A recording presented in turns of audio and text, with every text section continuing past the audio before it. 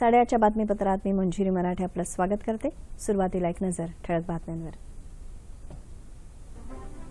राज्यातल्या स्थानिक स्वराज्य संस्था निवडणुकीत दहा नगरपालिकांसाठी सरासरी छप्पन्न टक्के तर जिल्हा परिषद आणि पंचायत समित्यांसाठी सरासरी एकोणसत्तर टक्के मतदान उद्या होणार मतमोजणी. उत्तर प्रदेशातील विधानसभा निवडणुकीच्या चौथ्या टप्प्यासाठीचा प्रचार काल समाप्त उद्या मतदान. तामिळनाडू विधानसभेत झालेला विश्वासदर्शक ठराव नामंजूर करण्याबाबत केलेल्या द्रमुकच्या याचिकेवर आज सुनावणी. भारतीय कंपन्यांनी सामाजिक दायित्वाच्या उद्देशानं निरपेक्ष भावनेनं काम करण्याचं केंद्रीय वित्तमंत्री अरुण जेटली यांचं आवाहन. नागालँड पीपल्स फ्रंटचे अध्यक्ष शुरा होझिलिये झिचू आज मुख्यमंत्रीपदाची शपथ घेणार. आणि कोलंबोत झालेल्या आयसीसी महिला विश्वचषक क्रिकेट पात्रता स्पर्धेत अंतिम सामन्यात दक्षिण आफ्रिकेवर मात करून भारत विजय संपूर्ण स्पर्धेत भारतीय संघ अपराजित. आता सविस्तर वृत्त. मुंबई ठाण्यासह राज्यातल्या दहा महानगरपालिकांमध्ये काल सरासरी छप्पन्न टक्के मतदान झाल्याचा प्राथमिक अंदाज आहे. मुंबई ठाणे उल्हासनगर पिंपरी चिंचवड पुणे सोलापूर नाशिक अकोला अमरावती आणि नागपूर या दहा महानगरपालिकांमध्ये काल मतदान झालं. मतमोजणी उद्या होणार आहे. प्राथमिक अंदाजानुसार मुंबई महापालिकेसाठी पंचावन्न टक्के ठाणे अठ्ठावन्न उल्हासनगर पंचेचाळीस पुणे चोपन्न पिंपरी चिंचवड सदुसष्ट सोलापूर साठ नाशिक साठ अमरावती पंचावन्न अकोला छप्पन्न आणि नागपुरात त्रेपन्न टक्के मतदान झालं. गेल्या महापालिका निवडणुकीत मतदानाची टक्केवारी सरासरी बावन्न होती. या सरासरीत वाढ होऊन ती यंदा छप्पन्न पूर्णांक तीस शतांश टक्के झाली असल्याचा प्राथमिक अंदाज व्यक्त होत आहे. या दहा महानगरपालिकांबरोबरच रायगड रत्नागिरी सिंधुदुर्ग नाशिक पुणे सातारा सांगली सोलापूर कोल्हापूर अमरावती आणि गडचिरोली या जिल्हा परिषदांसाठी काल मतदान झालं. त्याचबरोबर विविध जिल्ह्यातल्या एकशे अकरा पंचायत समित्यांसाठीही काल मतदान झालं.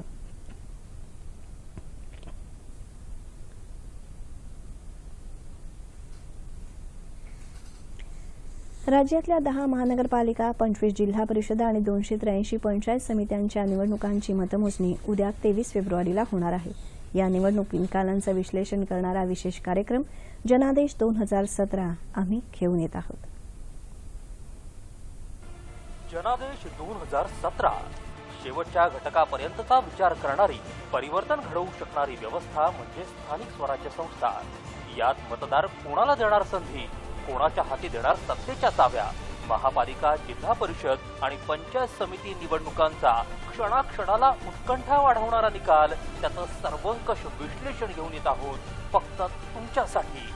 जनादेश दोन हजार सतरा दिनांक तेवीस फेब्रुवारी दोन हजार सतरा दुपारी बारा ते एक आणि रात्री नऊ ते दहा. जनादेश दोन हजार सतरा. उत्तर प्रदेश विधानसभा निवडणुकीच्या चौथ्या टप्प्यासाठीचा प्रचार काल संपला. अलाहाबादमध्ये काल भाजपा अध्यक्ष अमित शहा सपा अध्यक्ष अखिलेश यादव काँग्रेस उपाध्यक्ष राहुल गांधी यांनी रोड शोद्वारे प्रचार केला. या टप्प्यासाठी उद्या बारा जिल्ह्यात त्रेपन्न विधानसभा मतदारसंघात मतदान होणार आहे. उद्या एक कोटी चौऱ्याऐंशी लाखांहून जास्त मतदार सहाशे ऐंशी उमेदवारांचं भवितव्य ठरवणार आहेत. दरम्यान समाजवादी पार्टीचे ज्येष्ठ नेते अमरसिंग बंडखोरीच्या पवित्रात असण्याची शक्यता आहे. मुलायमसिंग यादव आणि अखिलेश यादव यांच्यातला वाद म्हणजे या पितापुत्रांचं नाटक आहे असं अमरसिंग यांनी काल एका दूरचित्रवाहिनीला दिलेल्या मुलाखतीत सांगितलं.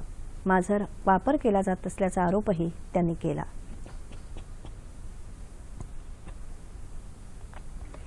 तमिळनाडू विधानसभेत गेल्या शनिवारी झालेला विश्वासदर्शक ठराव नामंजूर करण्याबाबत द्रमुकच्या याचिकेवर आज मद्रास उच्च न्यायालयात सुनावणी होणार आहे. हंगामी न्यायाधीश न्यायमूर्ती हुलुवदी रमेश आणि न्यायमूर्ती आर महादेवन यांच्या पीठासमोर ही सुनावणी होईल. तामिळनाडूचे मुख्यमंत्री ई पलानीसामी यांनी हा विश्वासदर्शक ठराव एकशे बावीस विरुद्ध अकरा मतांनी जिंकला होता. मात्र त्यावेळी द्रमुकच्या आमदारांना सभागृहाबाहेर काढण्यात आलं होतं त्यामुळे द्रमुकने ही याचिका दाखल केली आहे.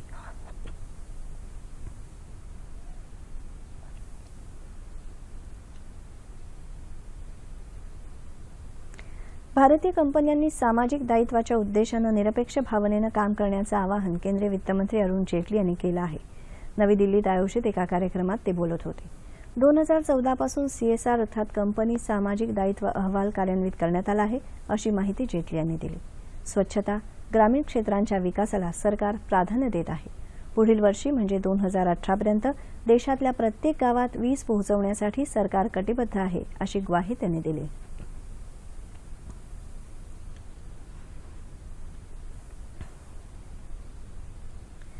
नागालँड पीपल्स फ्रंटचे अध्यक्ष शुरा होजे लिलिएझित्सू आज मुख्यमंत्रीपदाची शपथ घेणार आहेत.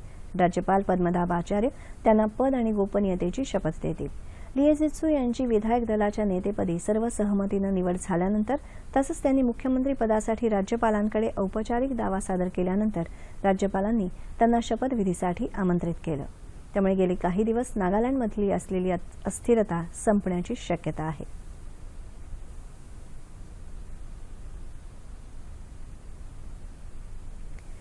परराष्ट्र सचिव एस जयशंकर यांनी काल चीनचे वरिष्ठ राजनैतिक अधिकारी यान जेच यांच्याबरोबर परस्पर देशातील संबंध सुधारण्याबाबत चीनमध्ये चर्चा केली. अणु पुरवठादार समूहात भारताला सहभागी करून घेण्याबाबत चीन अजूनही राजी नाही. तसंच जैश ए मोहम्मदचा अतिरेकी मसूद अझरवर संयुक्त राष्ट्रांनी घातलेल्या बंदीला चीननं पाठिंबा दिलेला नाही. याबाबत आज भारत चीन दरम्यान बैठक होणार आहे. त्या पार्श्वभूमीवर काल जयशंकर यांनी जीएची यांची भेट घेतली. या बैठकीत जयशंकर यांनी जीएची यांना भारताच्या प्रयत्नांना पाठिंबा देण्याबाबत चर्चा केल्याचं वृत्त आहे.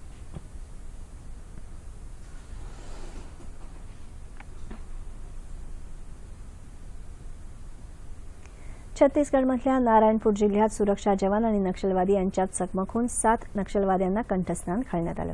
जिल्ह्यातल्या पुरापाल गावालगतच्या जंगलात नक्षलवादी लपून बसले होते. त्यांनी तैनातीवर असणाऱ्या पोलिसांवर गोळीबार सुरू केला. त्यांना पोलिसांनी चोख प्रत्युत्तर दिलं. या चकमकीत सात नक्षलवादी ठार झाले अशी माहिती नक्षलवाद विरोधी विशेष मोहिमेचे पोलीस महासंचालक डीएम अवस्थी यांनी दिली. नक्षलवाद्यांकडून होणारा गोळीबार थांबल्यानंतर पोलिसांनी पशुपाल जंगलाचा परिसर पिंजून काढला. त्यावेळी सात नक्षलवाद्यांचे मृतदेह सापडले तसंच इतर शस्त्रांसह दोन रायफल्स पोलिसांनी जप्त केल्या.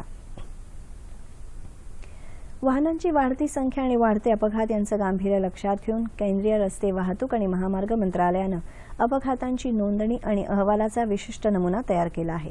तपासाला उपयुक्त ठरणाऱ्या या नवीन स्वरूपांमध्ये संपूर्ण देशातल्या अपघातांची केंद्रीकृत नोंद केली जाणार आहे अशी माहिती या मंत्रालयाच्या सल्लागार आणि वाहतूक विषयक संशोधन करणाऱ्या कीर्ती सक्सेना यांनी काल नवी दिल्लीत प्रसारमाध्यमांना दिली. भारतात दररोज एक हजार तीनशे चौऱ्याहत्तर रस्ते अपघात होतात आणि त्यामध्ये रोज चारशे जणांना आपले प्राण गमवावे लागतात. म्हणजेच देशात दर तासाला सत्तावन्न अपघातात सतरा जणांचे प्राण जातात. अपघातासाठी रस्त्यांची अवस्था दृश्यमानता मार्गदर्शक फलक आणि हवामान या गोष्टीही कारणीभूत असतात. मात्र सरसकट वाहन चालकांना दोषी धरलं जातं. एकूणच अपघातांचं प्रमाण कमी करण्यासाठी अपघातांची केंद्रीकृत नोंदणी करून त्यानुसार उपाययोजना करणं शक्य होणार आहे. विकसित देशात ज्याप्रमाणे अपघातांची नोंद केली जाते त्याच धर्तीवर आता भारतात नोंदी केल्या जातील असं कीर्ती सक्सेना यांनी सांगितलं. जागतिक आरोग्य संघटना वाहतूक क्षेत्रातले संशोधक आणि आयआयटीमधील तज्ज्ञांनी मिळून अपघात नोंदणीचं हे प्रारूप तयार केलं आहे. बुलडाणा जिल्ह्यात तूर डाळीचं उत्पादन मोठ्या प्रमाणावर झालं असून केंद्र शासनानं शेतकऱ्यांना शेतमालाला पुरेसा हमीभाव मिळावा यासाठी नाफेडमार्फत तुरीची खरेदी करण्यास सुरुवात केली आहे. बाजारात व्यापाऱ्यांकडून तुरीला योग्य भाव मिळत नसल्यानं शेतकऱ्यांनी नाफेडच्या खरेदी केंद्रावर गर्दी केली आहे. बुलडाणा जिल्ह्यातल्या सर्वात मोठ्या खामगाव कृषी उत्पन्न बाजार समितीमध्ये शेतकरी मोठ्या प्रमाणावर तूर विक्रीसाठी आणत आहेत. बाजार समितीच्या शिदोरी गृहातून शेतकऱ्यांना एक रुपयात जेवण आणि त्यांचा माल सुरक्षित ठेवण्याची पुरेशी व्यवस्थाही उपलब्ध करून देण्यात आली आहे. त्यामुळे सध्या तुरीची आवक वाढली आहे.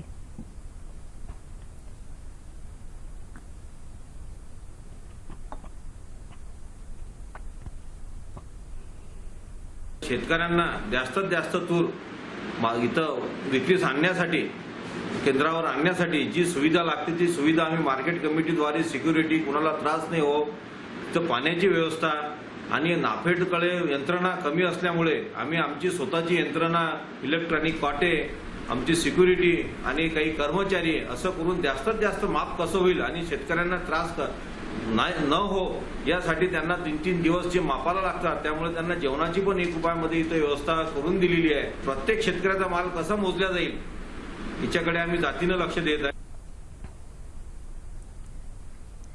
यवतमाळ जिल्ह्यात दारव्हा इथल्या नगर परिषदेच्या मराठी शाळेला नुकतंच आयएसओ मानांकन मिळालं आहे. एकशे ऐंशी पटसंख्या असलेल्या या शाळेत सर्वसामान्य घरातले विद्यार्थी पहिले ते पाचवीपर्यंतचं शिक्षण घेत आहेत. विद्यार्थ्यांना शिक्षणाची गोडी वाटावी यासाठी शाळेत एलसीडी स्क्रीनवरून विविध विषयांवर चित्रपट दाखवले जातात. बँकिंगचं ज्ञान व्हावं यासाठी शाळेत किलबिल बँकही सुरू करण्यात आली आहे.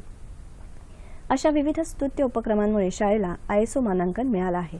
वर्गातला शेवटचा विद्यार्थी शिकला पाहिजे आणि शाळा शंभर टक्के प्रगत झाली पाहिजे यासाठी आम्ही सर्व शिक्षक प्रयत्न करत आहोत असं शाळेच्या मुख्याध्यापिका पुष्पलता चिंतकुटलवार यांनी सांगितलं. शेती करण्यासाठी आज अनेक शेतकऱ्यांच्या सातबारावर अगदीच लहानसा जमिनीचा तुकडा असतो. अशांनी काय करायचं? जळगावातल्या अशाच अल्पभूधारक शेतकऱ्यानं मात्र या पारंपरिक समस्येवर मात केली आणि पिकवली भरघोस पिकं. पाहूया या शेतकऱ्याच्या बुद्धी चातुर्याची ही कथा. जळगाव जिल्ह्यातल्या चाळीसगाव तालुक्यातल्या वरखेडे इथल्या भीमसिंग खंडाळे या शेतकऱ्याकडे वडलोपार्जित केवळ अडीच एकर शेती. कमी शेतीमुळे वाढत्या महागाईत कुटुंबाचा उदरनिर्वाह करायचा कसा? असा प्रश्न खंडाळे यांच्यासमोर होता. इच्छा असेल तर मार्ग दिसेल. या उक्तीला अनुसरूनच खंडाळे यांनी जिल्ह्यातल्या एका शेतकऱ्याची चोवीस एकर शेती करार पद्धतीने करायला घेतली. केळी उत्पादनाचं नवं तंत्र आत्मसात केलं. टिश्यू कल्चर पद्धतीचा वापर केळी उत्पादनात केल्याने केळ्यांचं दर्जेदार उत्पन्न त्यांना मिळू लागलं. टरबूज शेतीतही त्यांनी हे आधुनिक तंत्रज्ञान वापरलं आणि अधिक उत्पन्न मिळवलं. करार पद्धतीने घेतलेल्या पंचवीस एकर शेतातून खंडाळे वर्षाला भांडवल वजा करता सतरा ते अठरा लाख रुपये निव्वळ नफा मिळवत आहेत. आता मी ट- पंच अडीच एकरवरून पंचवीस एकर शेती कसाने करतो हे वर्षाला पंचवीस अडीच लाख रुपये पंचवीस एकर शेतीचा कस देतो तरी मला शेती परवडते. आणि बरेच लोक म्हणतात की शेती परवडत का परवडत नाही? आपण जर मन लावून चित लावून जर शेती केली तर निश्चित उत्पन्न मिळू शकतं. आधुनिक पद्धतीने शेती करा. शेती नक्कीच परवडते. वेळोवेळी तुम्ही खत मटेरियल फवारण्या सगळ्या गोष्टींवर जर लक्ष ठेवलं तर आपल्या शेती नक्कीच परवडते. करार पद्धतीने घेतलेल्या शेतजमिनीला आधुनिक तंत्रज्ञान आणि मेहनतीची जोड दिली तर या शेतीतून दर्जेदार उत्पन्न घेऊन ती फायदेशीर ठरू शकते हा भीमसिंग खंडाळे यांचा प्रयोग करार पद्धतीची शेती यशस्वीरित्या करता येत नाही असं म्हणणाऱ्यांसाठी नक्कीच मार्गदर्शक ठरेल. कोलंबो इथं आयसीसी महिला विश्वचषक क्रिकेट पात्रता स्पर्धेच्या अंतिम सामन्यात भारतानं दक्षिण आफ्रिकेवर विजय मिळवला.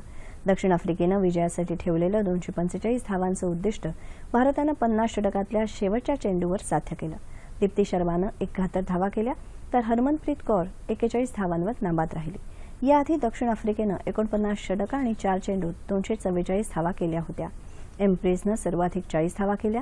राजेश्वरी गायकवाडनं तीन बळी घेतले. भारत आणि दक्षिण आफ्रिका हे दोन्ही संघ आयसीसी जागतिक चषकासाठी आधीच पात्र ठरले आहेत. पात्रता फेरीत सर्व सामन्यांमध्ये अपराजित राहणारा भारताचा एकमेव संघ होता. ठळक बातम्या पुन्हा एकदा. राज्यातल्या स्थानिक स्वराज्य संस्था निवडणुकीत दहा नगरपालिकांसाठी सरासरी छप्पन्न टक्के तर जिल्हा परिषद आणि पंचायत समित्यांसाठी सरासरी एकोणसत्तर टक्के मतदान. उद्या होणार मतमोजणी. उत्तर प्रदेशातील विधानसभा निवडणुकीच्या चौथ्या टप्प्यासाठीचा प्रचार काल समाप्त. उद्या मतदान. तामिळनाडू विधानसभेत झालेला विश्वासदर्शक ठराव नामंजूर करण्याबाबत केलेल्या द्रमुकच्या याचिकेवर आज सुनावणी. भारतीय कंपन्यांनी सामाजिक दायित्वाच्या उद्देशानं निरपेक्ष भावनेनं काम करण्याचं केंद्रीय वित्तमंत्री अरुण जेटली यांचं आवाहन.